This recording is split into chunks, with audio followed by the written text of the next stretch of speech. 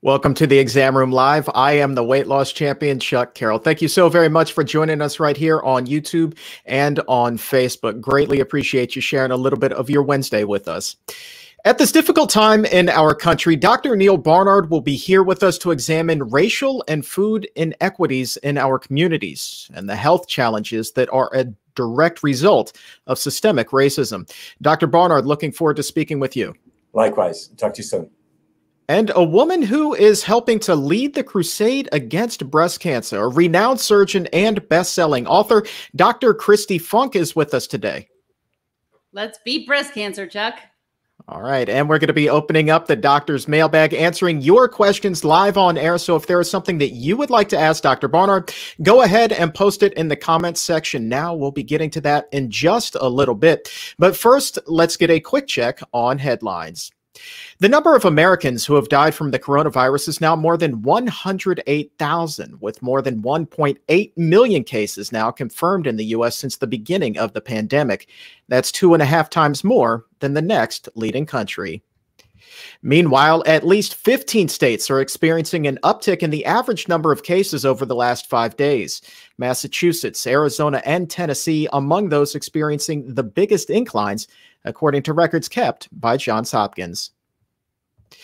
Tyson Foods says more than a quarter of its employees at a pork processing plant in Storm Lake, Iowa have tested positive for the coronavirus, but most are asymptomatic. The plant is expected to resume production today after being temporarily shut down. Tyson also says 224 employees at its Council Bluffs, Iowa facility have tested positive. Nationwide, 44 meatpacking workers and four USDA inspectors have died from COVID 19. And finally, a new study finds more than half of adults in Ireland have been drinking more since the beginning of the pandemic. 32% they've been having just an extra drink every now and again, but 22% admit their drinking has increased significantly. As for why, the top reasons given are anxiety and simply having more time on their hands. Alcohol consumption has been linked to a number of forms of cancer, including breast cancer. And we'll be discussing more on that later when Dr. Funk joins us here on the exam room. Right now, though, I want to welcome Dr. Barnard back to the show. And Dr. Barnard, as we continue to look at the inequities and the challenges that are facing the African American communities, one of the issues that we have worked hard to address is bringing healthy foods into what are known as food deserts, where high quality food is in short supply. Now, from a lay perspective, without access to these high quality, nutritious foods, it seems to me that the risk of so many diseases would just go sky high.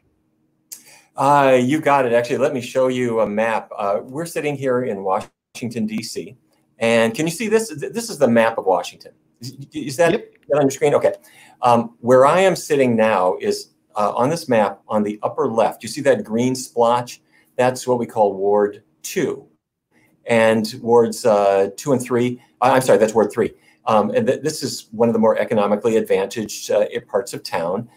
And the R that you see is the rate, the rate of colon cancer incidence per 100,000 people per year. So in Ward 3, where I am now, 22 people develop colon cancer per 100,000 population every single year. In the bottom, uh, that sort of golden color, that's Ward 8 you see the R73.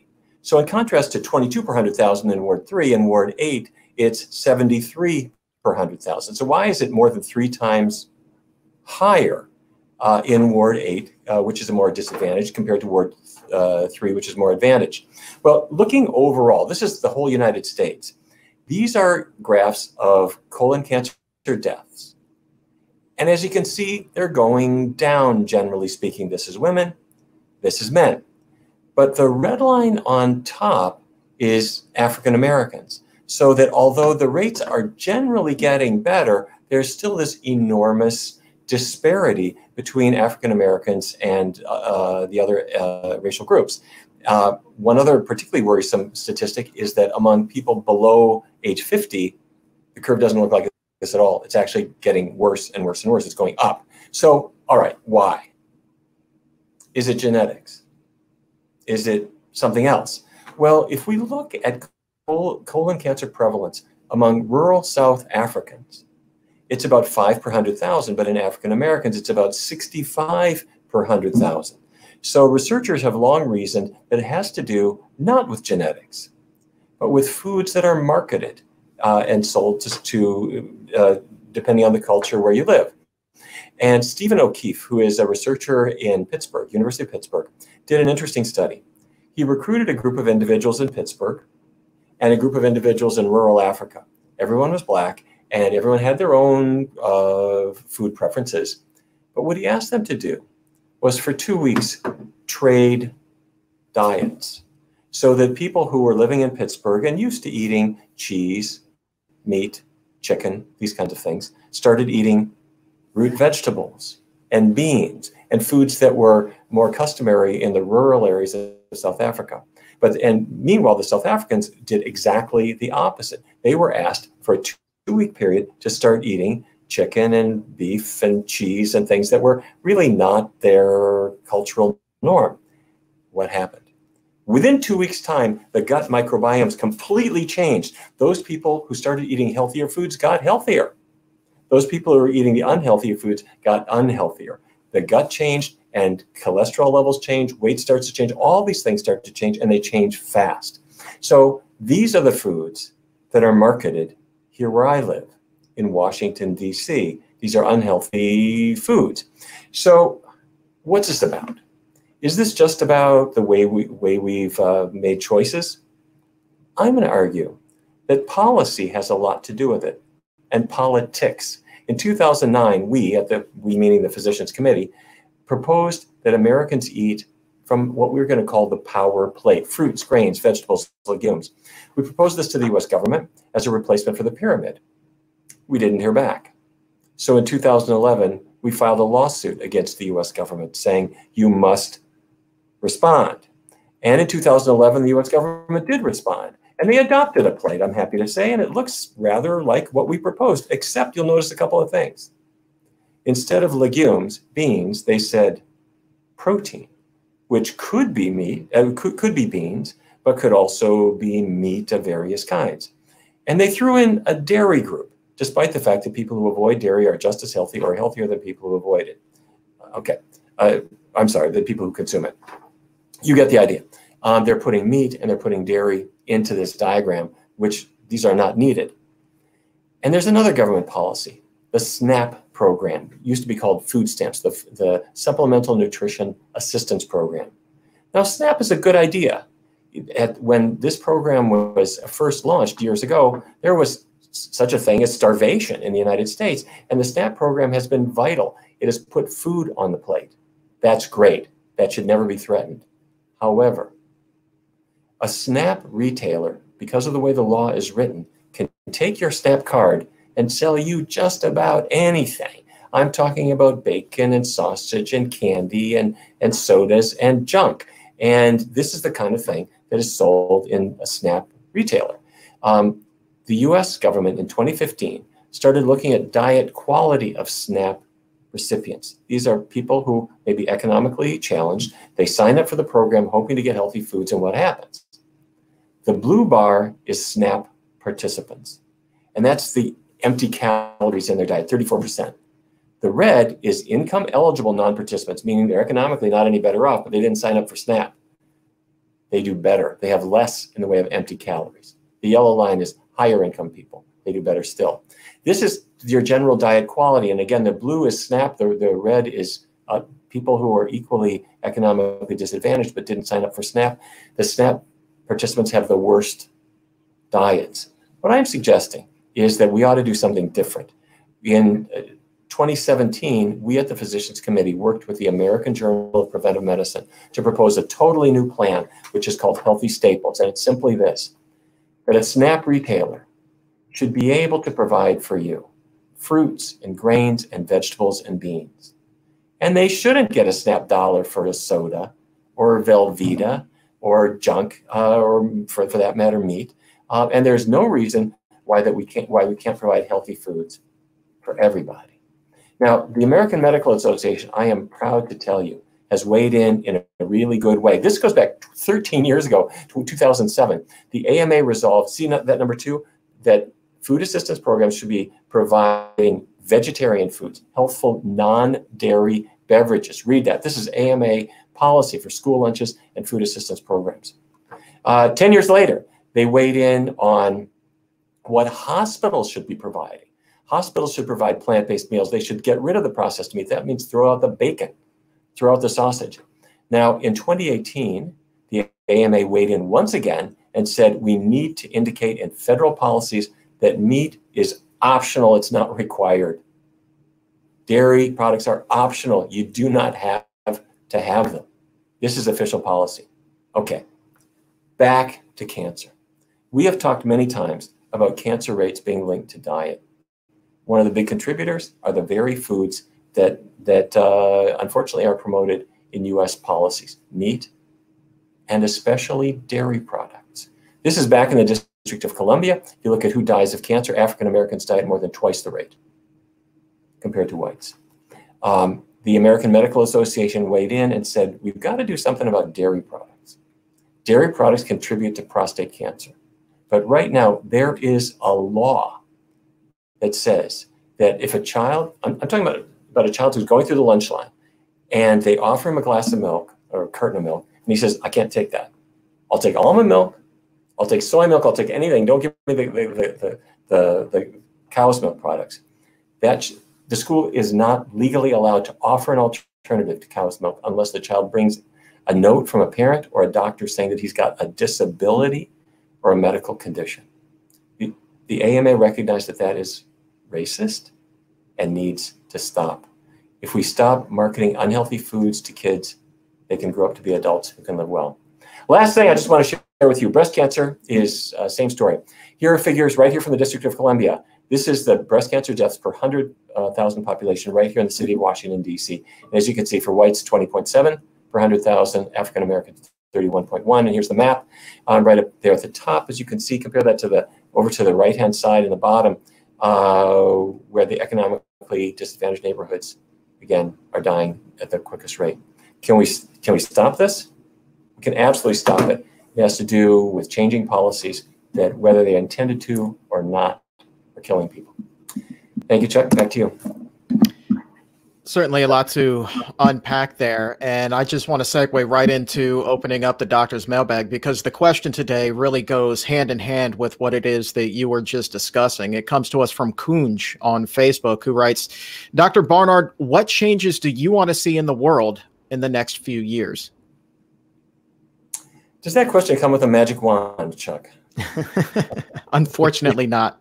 If if I had one, I would do a few things. Um, I, I, think what I would try, try to do is to change fundamental motivations. Um, when I talked about school lunch programs and so forth, they are influenced in large measure by economic interests that want their products to be sold. The dairy industry, the meat industry, the candy industry, all these weigh in heavily.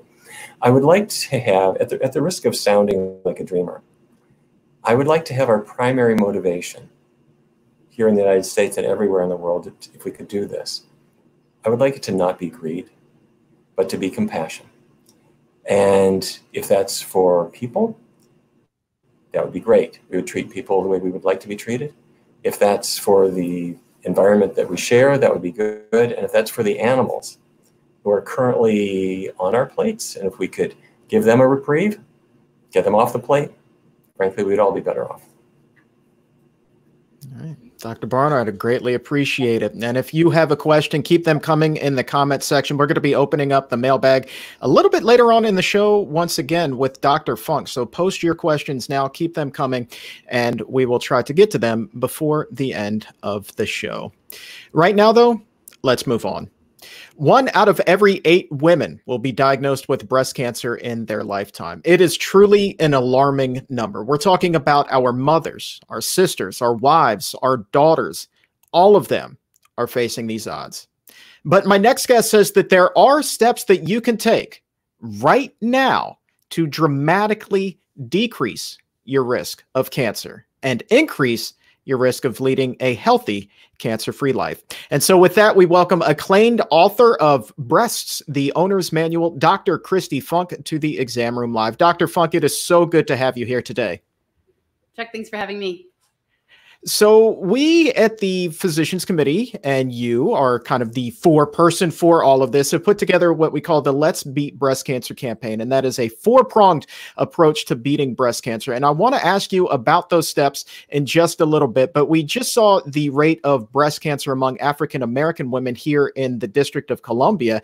What do we know about the rates nationwide? Is it similar to what Dr. Barnard shared?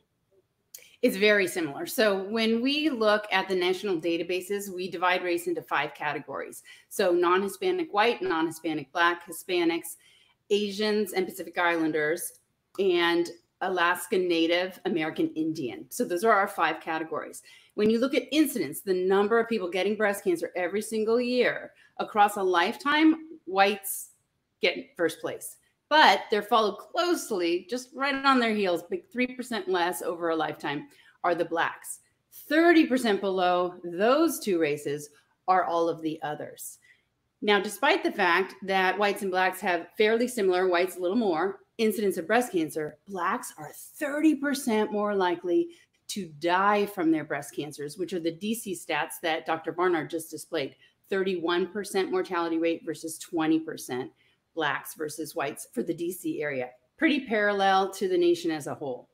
And when you compare blacks to the other nationalities, they are literally 150% more likely than Asians to die of their breast cancer and twice as likely, 100% more likely for the other races. So while by no means does breast cancer just target blacks and whites and all races matter, I do want to focus on this inequity, this disparate number of incidents versus mortality in the whites versus blacks to really understand maybe why and if there's a way to penetrate through that why to get to a let's stop and reverse this trend.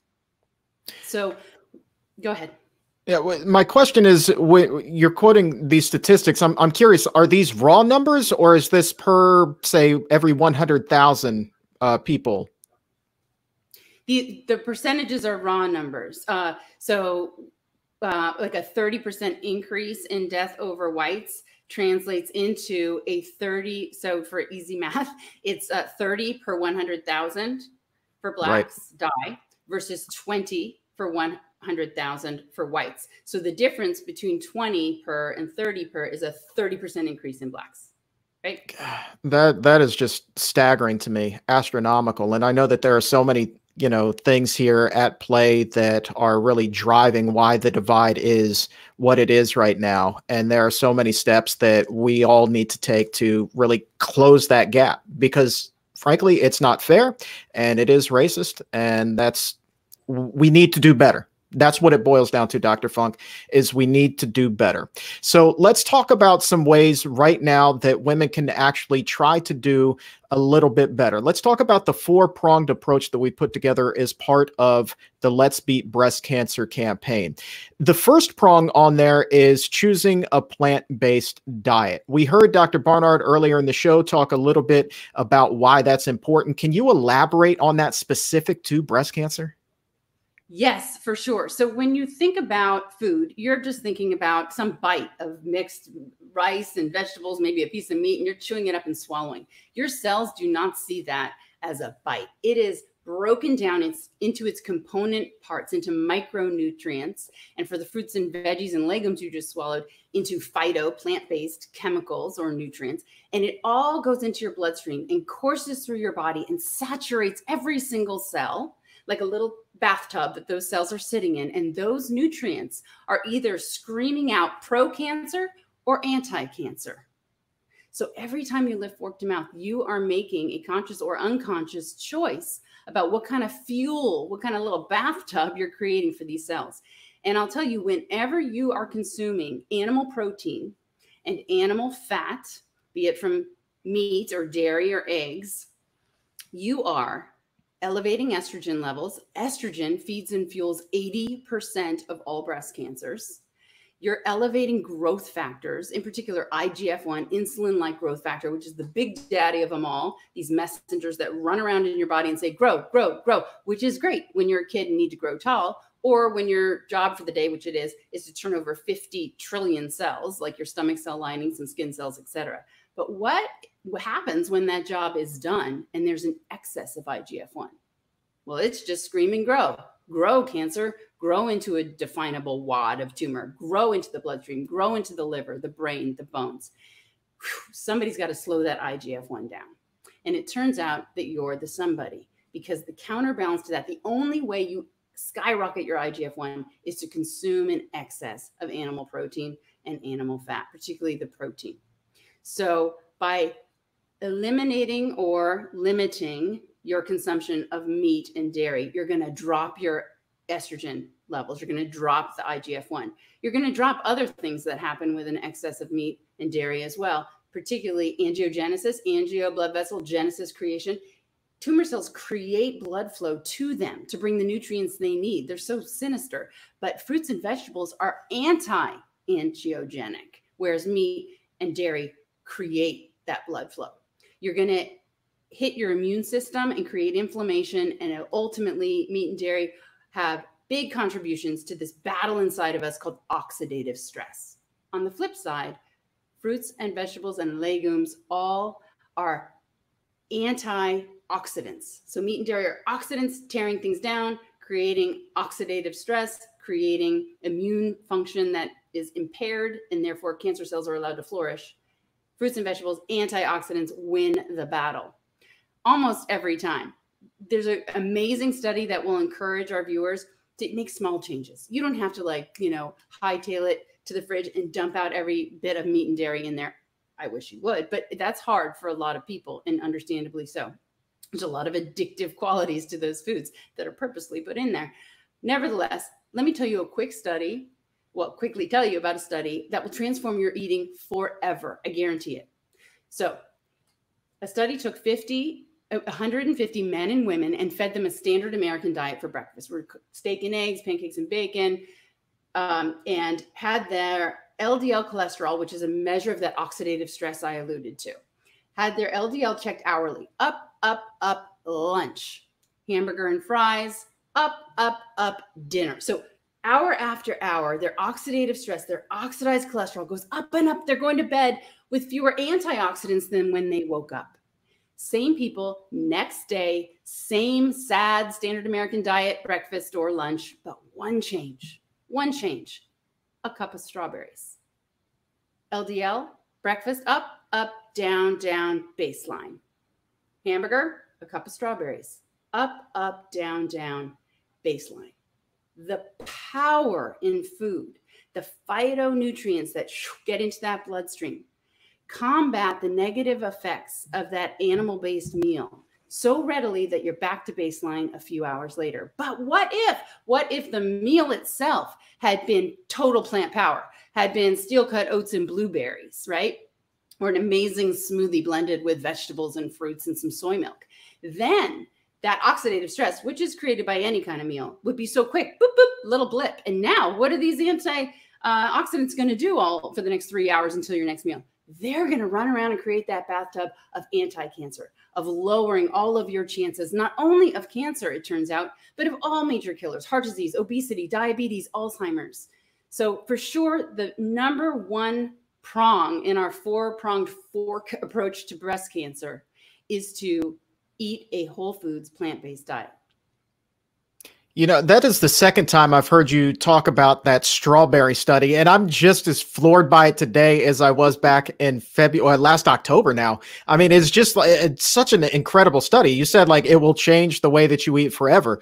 No kidding. Like that is that is a big time deal. Let's look at the second uh, prong on the four pronged approach, and this is something that I think that a lot of people across the board are struggling with right now, especially during the lockdown because we're so sedentary. Moving, exercising, how important is that in terms of lowering the risk of breast cancer? It's incredibly important. When you're active, you're going to decrease estrogen levels, improve inflammation, and ultimately set the stage for that oxidative stress to be in your favor. It is an oxidative, stressful situation to exercise, but the post exercise benefits are massive. One of my favorite studies to quote, because it's so easy for you to implement, you're like, really? That's it? I can do that. It looked at over 17,000 women and followed them over a number of 10 years and looked at exercise as one of the variables. Those women who literally walked one hour and 15 minutes a week dropped breast cancer by 18%. I mean, that's nothing. I mean, that's like 12 minutes a day and you're dropping your breast cancer risk. So just briskly walking and chatting with a cup of coffee in hand with a friend, I guess through a mask right now, will improve breast cancer. But what if you got a little pep in your step? If you really vigorously work out, like super sweaty, it's not so easy to talk while you're doing so, 30 to 40% drop in breast cancer risk. So there's no question that exercise has tremendous benefits. So while we're cooped up, if you're really cooped up in your house, you know, maybe get one of those DVD workouts or a Peloton kind of situation where you're able to really push the workout to sweaty levels. You only need two and a half hours a week to get those benefits I mentioned. If you're more of a power walker, or even let's just face it, you like to saunter and don't walk fast at all, five hours a week will do the trick. All right, this next one we kind of talked about in headlines a little bit. We heard that more than half of all adults in Ireland are drinking more since the pandemic began. When it comes to the risk of breast cancer, probably not the best idea. What is the connection here? So there are a few connections between alcohol and breast cancer risk. By the way, it's probably not just our Irish sisters that are upping the ante with their alcohol intake, as we do know from stats around the around the world and in the U.S. First of all, what's a drink? A drink is 1.5 ounces of hard liquor, is 12 ounces of beer, is five ounces of wine. So pick your poison, get it in mind. Ready? A drink a day increases breast cancer by 10%, two drinks a day, 30%, three drinks a day, 40%, and upward from there. So what is happening, Chuck, is a little few things. First of all, Alcohol consumption generally increases estrogen levels. And as mentioned, estrogen is the fuel source for 80% of all breast cancers. So you're giving those cancer cells more of the food they need to multiply and divide. Number two, alcohol impairs immune function. Immune cells are supposed to say, hey, you're a traitor, you're a rogue cell. You need to either be altered back to normal or get put out of this body. So your immune system defenses are lowered. Thirdly, you create a highly potent carcinogen whenever you drink alcohol called acetaldehyde that your liver then has to deal with. But if you were just to use alcohol as a mouthwash, put it in your mouth, spit it out, you already created acetaldehyde that's going to get swallowed down. And then the final driver toward cancer formation when it comes to alcohol is the inactivation of an enzyme called MTHFR. Kind of sounds like a bad word, but it's got a better name when it's all pulled out. MTHFR, methyl tetrahydrofolate reductase, converts folic acid into methylfolate. Methylfolate runs around and fixes DNA when it goes awry. But whenever you drink alcohol, you inhibit that enzyme from functioning. So you're not gathering up that methylfolate weapon that you need to reverse cancer cells. And the last of the four prongs, it seems like it just kind of comes automatically after you implement the first three steps here, and that is getting to and maintaining a healthy body weight. And you will get to that healthy body weight naturally if you are pretty re- uh, regimented in following a whole food plant based diet, getting daily exercise, limiting alcohol to, say, a drink or less daily, which is what the American Cancer Society recommends for women, two drinks for men. But less is more. And by the way, no non drinker should start drinking alcohol claiming some sort of cardiac or breast benefits in red wine, which arguably might be there. So when it comes to weight, if you're following the other three, those pounds will naturally fall off. But to incentivize you, not to scare you, if you think about the weight you were in high school and then the weight you are now, if you are plus or minus eight pounds from that weight, you're our null group. You're the no increase in risk. But if you've gained between eight and 14 pounds since high school, you just increase breast cancer risk by 25%. And if you gain between 14 and 29 pounds, you increase breast cancer by 60%. More than 29 pound weight gain, and you doubled your risk of breast cancer. The good news, however, is that if you lose your weight, you lose your risk. The earlier in life you lose it, the more risk ben, um, benefits, the less risk you assume. But even postmenopausal weight loss, it all matters to dramatically drop breast cancer risks. So get to your ideal body mass index, BMI. Look for we, uh, pinklotus.com has a great calculator there, but BMI is simply using your height and weight to determine what your ideal range is, and that's 18.5 to 24.9. If you're underweight, good for you. You get to eat a little more than the rest of us and gain some weight. But those who are overweight, which sadly is 72% of all Americans, you really should employ these strategies to get yourself back into that ideal body weight. All right. Now, if you have a question for Dr. Funk, post it right now in the comment section. We're going to be opening up the doctor's mailbag in just a little bit. But Dr. Funk, as those questions come in, I want to ask you about, you know, some of the patients that you've seen over the years. I'm sure that once someone has gone into remission, they have gone on to do some incredible things in their life. Are there, you know, some patients who you've worked with that you've just seen just so flourish? Like, I just feel like we could use a little bit of inspiration right now in such a difficult time. Tell us a good story about somebody who's come out the other side and is just doing extraordinary things right now. Okay, great. So I'll call her Carol. And uh, when I met Carol, she was definitely overweight, drinking too much, unhappy in her marriage, and had been diagnosed, thankfully, with a favorable subtype of cancer because it was estrogen driven as opposed to the estrogen negative cancers, which incidentally, blacks have a 21% chance of getting a triple negative, very aggressive, harder to cure cancer, as opposed to 10% of whites and 12% of other races. So that's one reason why, uh, in a genetic level, it's a higher mortality rate for the blacks. But it, it goes deeper than that into socioeconomic levels and even political spheres. Back to Carol. So she came to see me, and we talked about the strategy to treat and cure her breast cancer. For her, it required um, surgery and radiation, no chemotherapy, and an anti-estrogen pill because her cancer was fueled. So we got to take a pill that would hit that receptor and inactivate it. All right, what else can I do, doc? Well, I'll tell you, before I wrote Breast the Owner's Manual, I would have a few tidbits to have given her. Now that I really dove into nutritional science and lifestyle medicine and understand the dramatic impact it has against future recurrence for breast cancer, she got more than an earful from me. So we went through it one by one. Let's talk about your weight. Okay, let's calculate your BMI. How many pounds do you have to lose? How are you going to lose it? And we talked about nutrition. We talked about exercise. We talked about stress management using Tai Chi or yoga or meditation to decrease stress literally has a mind body connection. That body, inflammatory cytokines, uh, IL 6, uh, C reactive protein, these things have been measured in people. High stress, high inflammation, high cancer risk. Less stress, less markers, less recurrence. So we talked about stress management and we talked about our marriage. We talked about love and relationships and how much they impact survival. The LACE study, Life After Cancer Epidemiology Study, followed 2,200 early stage, just like Carol, early stage breast cancer patients for 10 years.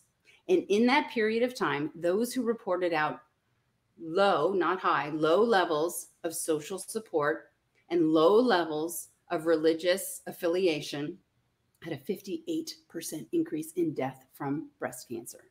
That's how important relationships are. She got into marital counseling. And now it's been four years. This story is now four years later. She is in her ideal body weight. She's still happily married to her husband. They kind of resolved all of their, well, I want to say, I want to speak for her. I'm sure there's still a little, he may still leave the toilet seat up, but they resolved their major conflicts. And she is meditating every single day, taking walks on the beach and there's no sign of cancer. I taught her about these anti-estrogenic foods that you can eat that act like tamoxifen and arimidex, these drugs that women have to don't have to, but they should take um, to help combat cancer. So we talked all about cruciferous vegetables and soy and um, citrus fruits, flax seeds, and she's consuming all of those on a daily basis and feels empowered because she knows that this life now is filled with choices, and those choices are allowing her to maximize her enjoyment of every aspect of life. Disease minimization just being one aspect. She's so much richer and deeper in her friendships and her relationships with her kids and with her husband. Oh man, that is outstanding. I needed to hear something good and you delivered right there. I mean, big time. Uh, questions. This is one from Lori, who I think, man, this is something that a lot of us can identify with. She writes, I try to eat plant based and healthy as much as I can. And I understand how important it is, but I still eat junk at times like potato chips and sometimes cheese. I don't really want to eat this food, but I also feel like I'm addicted to it. Do you have any tips to help break that addiction? I have a few tips. So, number one, don't have that food in the house. I know you're probably like, duh, I know, but it was on sale even. So, just don't, though. Don't have that food in the house. If you've really got to put on clothes that other people can see, depending on uh, what time of day or night it is and whether or not you're sheltering at home right now, and get in a car and drive to a grocery store just to satisfy that hankering for salty chips, that can be an impediment. So, don't have the chips at home, number one. Number two, have something that is an acceptable alternative to you. That might be hummus and vegetables or some lightly salted or unsalted nuts which are very filling because of the fat content. So just have some handy snacks that you know you like that do satiate you and make you happy. You're not being derogatory or like self-deprecating to say that you, these foods are addictive. They are. There are literally jobs that exist in these large companies of processed food makers their job is to make this particular potato chip more addictive. Just the right amount of salt, the right amount of fat, so that you can never put down the bag till it's empty. So don't feel alone in that. I mean, there, that is uh, a job well done by those guys if that's how you're feeling. But the biggest things are to not have the snacks that are cheats for you readily available, and then to have something else you can grab that'll make that sensation pass. Down a cup of water too. That's a big one. Just fill your stomach, expand it a little bit. Just change the neurotransmitters in your body by putting in some food, and that hankering will pass. All right. Next one comes from Jane. Soy, still controversial in the cancer community.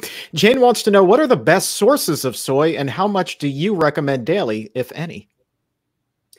Oh, Jane, I love this question because it shouldn't be controversial in the medical world. It only is because said individuals haven't, probably haven't read the most recent science. And by recent, I mean since 2009. So it's even not that recent. There is no controversy if you actually jump into the science. So the healthiest food sources of soy, but by no means do you have to eat these ones, are the fermented soys, tempeh, miso, natto, and tamari sauce. Natto, mm, not palatable for many people, but if you love it, go for it because that is a more digestible fermented soy. The next level is minimally processed soy. And I'll, I'm going to jump into a couple studies just to give you the power of soy in statistics um, as they pertain to breast cancer risk. But in that category, in these studies, they're not talking about the fermented. They're talking about consumption of soy milk, tofu, soybeans, roasted soy nuts. So that is a healthy category as well. The least healthy and really just kind of unstudied is your isolated soy protein. That is so extracted from the original soybean that it used to be that we don't know if it carries all of the amazing health benefits that I'm about to enumerate. However, it's definitely going to be better if you have a burger whose main protein source is the isolated soy protein as opposed to a beef burger. Go for it. If that's what you want to have instead of a beef burger, I'm all for the isolated soy protein. Always non GMO. For those who don't know, organic is always non GMO not vice versa. But you just want to make sure you're not getting the excess glyphosate, that Roundup chemical that's so ubiquitous with the soy crops in America. So statistically, there have been a number of amazing studies in humans, not in mice, in humans that show that high versus low soy consumption will lead to about a 60% reduction in getting breast cancer. And if you have breast cancer, there are multi ethnic studies, and I point that out because if you're thinking, oh, all of the studies must be in Asians because they eat more soy, but maybe it's the green tea, maybe it's the rice, right? No, multi ethnic American studies included between, they vary 30 to 60% less breast cancer recurrence and 30% less death from breast cancer in the high versus low soy consumers. How much is high consumption? Some of these studies are one serving a week. I advocate for two to three servings of soy a week. Look what a serving is. It might be a half a cup of soy milk, a cup of tofu. Um, a word of caution excess soy, and that would be in the literature for sure seven servings. So I would cut it off at five or more servings of soy, actually creates enough protein to elevate that big daddy actor that I don't like, IGF 1. So two to three servings of soy, come beyond healthy and completely safe. Question from Melody on YouTube Does hormone replacement therapy increase the chance of breast cancer? Melody, yes, it does. So, hormone replacement therapy has different studies saying different things, but they all kind of, when you really take a deep look, which I have at the studies, they are not contradicting one another. So the big one that hit the world in July 2002 is the Women's Health Initiative. And what that showed us is a 26% increase in breast cancer for those women on a combination of estrogen and progesterone. That was enough to panic the world and literally prescriptions for HRT, hormone replacement therapy, dropped in half. And the very next year, 2003, there was an unprecedented, really unthinkable 6.7% plummet in breast cancer incidence just one year later. And it was predominantly, almost entirely, in women over 50 with estrogen driven cancers. In other words, those who had stopped that hormone replacement, that led to a dramatic drop in breast cancer. Other studies, however, look at women who take just estrogen because maybe it's the progesterone component. And if you don't have a uterus and you can just take estrogen, maybe then you don't get an increase in breast cancer. And in point of fact, those studies showed a drop in breast cancer by about 25%. However, and here's the rub here's where the increase comes in. You get an increase even with estrogen only if it's taken within the first five years of going through menopause. Hello, that's when you're hot flashing your way to a divorce and need to take the hormone replacement. Or if you take it for longer than 10 years duration. Those two elevate breast cancer risk. So then your next question, I can already hear you, Melody, is what about bioidenticals? Because they're made from healthy things like soy and yams. And while that sounds breast cancer protective and healthy, there are no studies to show us one way or another. And you just don't know what happens to those compounds when they went from a yam to a cream or a pill and have been so altered that maybe the phytoestrogen benefits are mutated in some way and actually become dangerous. We just don't know because the studies aren't there. So I would encourage each woman to have an individualized conversation with her doctors about whether their risks outweigh their benefits. If you have had a personal history of breast cancer, you have a high family history of breast cancer, if you have dense breasts, HRT is going to make that density even denser, and that's a risk factor for breast cancer. You weigh that against other risks, such as taking HRT in certain populations, not everybody, those who already have heart disease, HRT will worsen it and increase cardiac death. But if you have no heart disease, um, it can be protective against heart disease. So it's very nuanced and complicated, this conversation. But by and large, to answer the question, yes, HRT absolutely increases breast cancer. But as an individual, you need to balance that risk out. And why are you taking it? Because if it's for hot flashes, night sweats, vaginal dryness, insomnia, mood swings, those things, there are alternatives available. Acupuncture is really helpful, increasing soy consumption. My absolute favorite is Menopause Miracle. It literally deserves its name. It works in over 90% of women to eliminate all 12 of the major menopause symptoms while increasing bone density. So check into alternatives before you check out that prescription that your doctor gave you. All right. And my final question to you is this the current rate of breast cancer among women is one out of every eight. If every woman were to implement the four prongs that we've talked about today on the show, what then would the rate of breast cancer become in your estimation? Uh, our worst case scenario would be one in four. We would drop that number by 50%. And best case, we could drop it by 80 to 90%. That is outstanding. All right, Dr. Funk, coming up October 3rd and 4th in Southern California, you've got the Cancer Kicking Summit. Talk to us a little bit about that. Oh, I'm so excited. So this summit is live at the gorgeous oceanfront Terranea Resort in Palos Verdes, California, but it's also available on on-demand video. And what we're going to do, ladies, is and men, if you'd like to come, you're more than welcome. We're going to deep dive into the soil of your life and we're going to root around in there and throw out all the things that are not contributing to your healthy life. And we're going to plant what I call an orchard of life that helps you live your most fruitful, bountiful existence. And we're going to look at things like thinking, why do you think the way you do? Tell yourselves the things that you tell yourself about yourself. I'm overweight. I've always been this way. I'm a smoker. That's just who I am. We're going to look at diet and nutrition. You bet we are. We're going to look at exercise, meditation, all sorts of actionable, start right now, powerful things that you can implement in your life so that you can emerge the most successful, beautiful, confident, contributing member of society that you've ever dreamed that you could be. So please join me. Check out pinklotus.com forward slash summit to learn more. I would love to see you there or see you on demand. Yeah. And I bet the food there is going to be out of this world, isn't it? You bet it is. I'm going to show you just how tasty. I mean, that's one of the things actually I love. So people say, I, I would eat plant based, but it's so boring. It's so bland. And part of that is your taste buds were hijacked and we need a moment to just like less salt and things like that. But let me tell you, if you come live to this conference, you will be blown away by how utterly delicious plants can be. And you can learn how to make that. I've got my cancer kitchen, my cancer kicking kitchen is opening soon with countless recipes and how to's. So don't miss that either. You can sign up now for it so you know when it goes live. All right. And you can get jump started on everything. You don't have to wait until October. You can head over to Amazon or your favorite book retailer online, pick up a copy of Dr. Funk's book, Breasts, the Owner's Manual. Dr. Funk, thank you so very much for your time. This has just been fantastic. Uh, thanks, Chuck. Thanks for doing All what right. you do. Absolutely. We'll talk to you again soon. I am certain of that.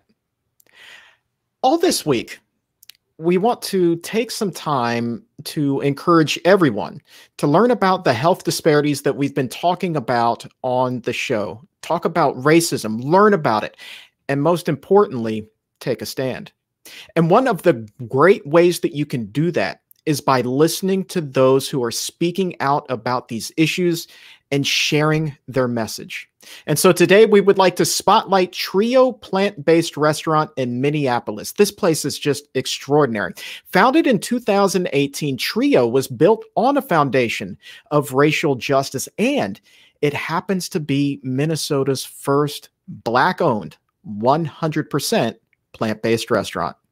So, at a time when challenges and injustices in the community have rubbed raw the emotions of all who live there, Trio is giving away food to the residents there so that they may feel a little comfort as their wounds continue to heal.